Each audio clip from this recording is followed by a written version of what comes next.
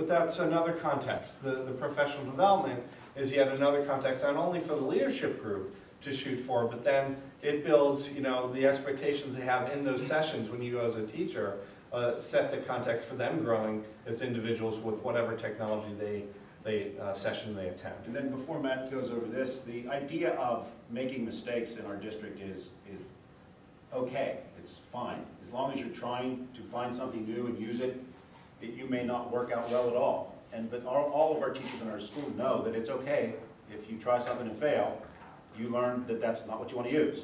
You try something new the next time. So that, that feeling that, that is given to our teachers, that it's, you know, go ahead and try new things because you're going to have to sooner or later, is what makes us, uh, I think, a very good school because we fail all the time. You know, it's just part of our life. You find something, you try it, it doesn't work, you try something else, so that's what we do. Um, all right, so we have this effort going on, and, and we're, we have the parent night, which builds one sort of uh, um, effort, and then we have all the professional development sessions that really make use of the very tangible, I have this new technology, now what do I do with it? Um, you know, it answers those questions, but, it, but through those efforts, we can start having a deeper conversation about what it all means. You know, the technology, yeah, okay, you can start seeing how it might impact teaching and learning in the classroom. We're attending sessions. We're getting used to these devices like an iPad, for instance. But what, but what are, what's the bigger picture? Uh, from a leadership standpoint, you can start having the conversation about 21st century learning is the term that's most often used.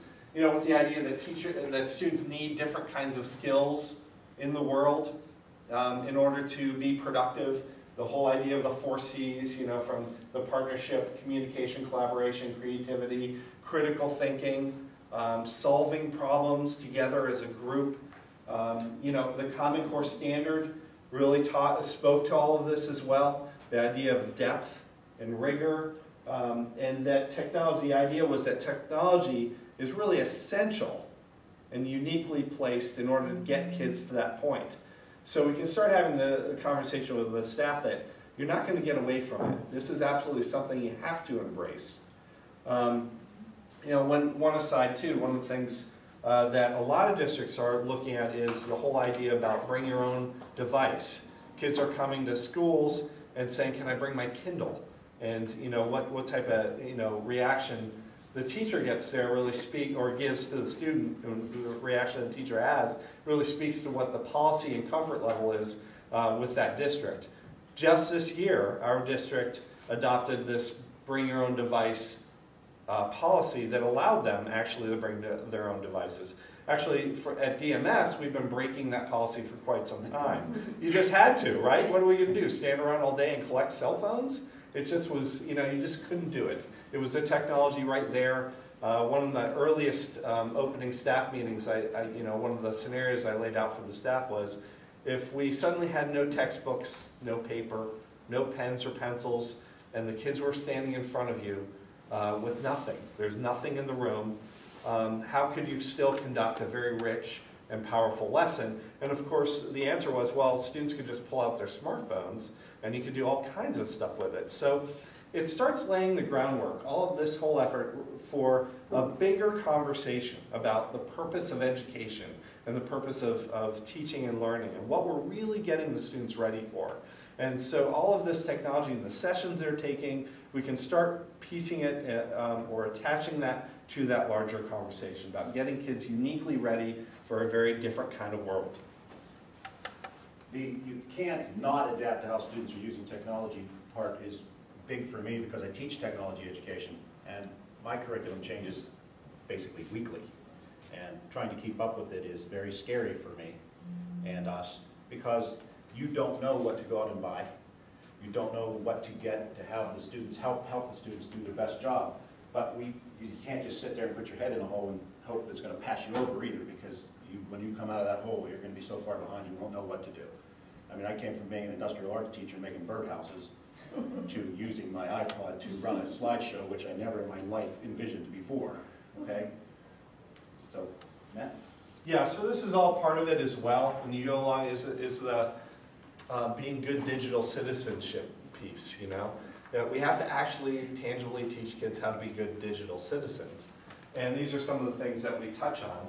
Uh, I talked about, um, you know, the need to do this. If, if you haven't, if you don't have a policy that actually allows kids to use their smartphones as a part of teaching and learning in the classroom, then that's something that your district would want to look at for sure. You know, it's sort of like social networking. Um, I was in John Walsh's session uh, yesterday, um, you know, focusing on Twitter. Social networking is kind of like bring your own device. It's one of those things you can't really ignore. You can't not a- adapt to that, you know? It's just the way the kids are functioning. It's the way that they work. So why not embrace that? You really have to sort of get your arms around it as an educational institution. We've Oh, talked. oh yeah, the whole buy smart thing. Sorry, Mike. No, that's quite right. This is something, you know, the, one of the technologies that teachers grabbed onto, if you, if I listen for you, um, you know, the, the Mimeo or say the document camera, which of those two do you think teachers gravitated toward and really adopted very quickly? Which do you think? Just throwing that out there. Mimeo or like the smart board technology or the document camera? Yeah, document camera, they grabbed it right away, right? It's like a really fancy, cool overhead projector, you know? And, but, but you can do a lot with it. I mean, you could, it shows live video, so you can do an experiment underneath the camera. And so uh, it really was a great piece of technology to bring to teacher, to teachers right away. Well, the thing is, that's a separate piece of equipment. You have to think about buying smart. The iPad, of course, has apps that allow it to act like a document camera. So you're basically buying smart because you're including many types of different technology into one. So you're saving money, really, you know, if you're thinking fiscally like that. Right, and since, and since all the teachers do have an iPad, they already have a document camera in case their document camera does break, which they're doing, because they do, and that's what we're gonna talk about next. The idea of what you're gonna use makes, what makes sense to your school. You can check around with other districts, of course, to see what they're doing. You don't have to reinvent the wheel. This, how do you keep up with it? And I don't have an answer. You do the best you can by letting yourselves and the students and everybody be proactive in finding things and bringing them to you. These are the questions that the, the tech committee would ask. They're big vision questions. They have to ask themselves of uh, that, those questions. Right, because, because I started having, I I am in charge of all the AV in the school, which went from passing out two or three VCRs, a couple TVs a few years ago, to being in charge of 52 projectors, 52 document cameras, 52 Mimeos. Do you, do you see how it changed a little bit? And that, everything's changing, and then when something breaks, trying to replace it, it's very expensive. So now that we know that we can have, we already have iPads, there's no reason to buy new document cameras because they work wonderful as a, as a document camera for free with an app. So you already have it. So listen to your staff, attend conferences like this to try to find out how you can do better with what you have. But you gotta work, look, this was me when I had hair. The stuff you can't forget. This stuff does not take care of itself. And you need somebody that's going to be able to make sure that the filters are cleaned on the projectors. Because that $600 piece of equipment doesn't work really good when the bulb blows out. And then the document camera is not gonna do you any good because you have nothing to show it with. So you need to be able to have somebody, and then even if you send out an email that says, it's Monday, it's a good day to clean your filter, or, you know, guess what today is, it's clean your filter day, you still don't have them do that. Your Because- teachers do Well, Teachers clean their own, and I went and cleaned every single one in the school the week before Christmas this year and found out that teachers don't clean their own filters. When the bulbs burn out, you need to have one on, on hand, but you can't keep them on hand too long because they have a shelf life. And it'll, it can go bad just sitting on your shelf. And the wonderful part about the bulbs on these projectors is they're timed. Most of them are timed for around 5,000 hours. And it's not going to work after that whether it was fine or not. It's just a timed out machine. It's built-in obsolescence.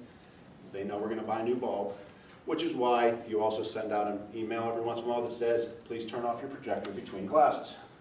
That is extra two, three, four hours a day that they're running is really not necessary. People bump into things, people pull things off of tables, things fall down on the floor, go bang, they don't work near as well once they've bounced. You can try that yourself and see that for yourself, but you need to be able to have somebody that goes around and fixes it. I don't do it myself. Part of people from the tech committee can be any period they're in charge of helping somebody that needs help.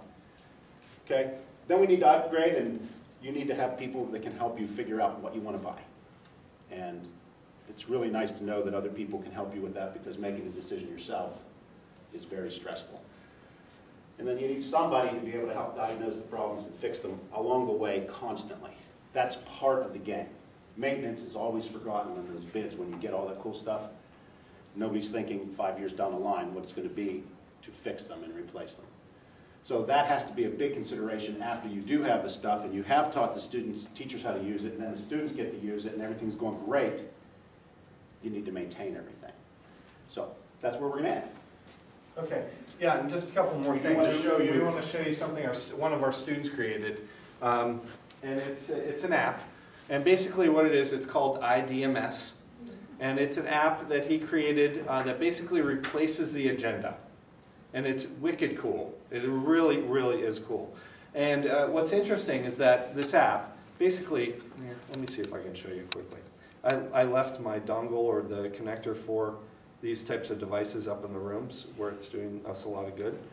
But um, you can get a sense of it. Basically, So you know, student, a like, student it's replace development. the agenda book of Mhm. writing the homework into Yeah. it, like, all the kids that have smartphones use this app? Yes. it's an iPhone app right now. So it's, you This know, is, it has a calendar. yeah. We'll pat, you can pass this around. Uh, no, thank you, I don't want to rate it. Okay, it has a calendar, it has a schedule, it has assignments, it has a hall pass. So the students use this for their hall pass, they bring it up, they can choose where they want to go, it's, there's a pull-down list, they can choose how much time they're going to be gone. They, s- I say five minutes, okay, then they bring it to me, Sign it with my finger if I'm a teacher. You really sign off on it? yes. You And they hit can submit. clear that out as like. They can, we sign it, and then submit it, and then it turns mm-hmm. green for the first few minutes. And then, oh, where do you want to go? Sorry, I didn't tell where I went. Yeah, and then it turns yellow and I'll go red to the as time bathroom. as Okay. time clicks away. So basically what this it includes, again, a place for you to enter assignments as tasks, um, you know, that you can check off and complete. So this, is a, this speaks to what Mike was talking about before about involving the student body. Uh, what was interesting about this is that this technology really, just as here we had a bring your own device sort of policy, but this technology, once students were allowed to use it, and that went through student council and our site-based uh, team, so it went through that process. The student presented to the whole staff, which was really hard for him to do. He's an eighth grader, you know, but he did it. It was a great experience for him. But it created, again, that context for kids and teachers to start using um, devices in a very regular, normal, this is our everyday kind of thing. You know, I still caught myself with kids, you know, on their phones like this. I'm like, hey, phone, what's up? You know, in the hallway. And of course, they said, oh, it's my hall pass. I'm like, oh, okay, right. Just checking.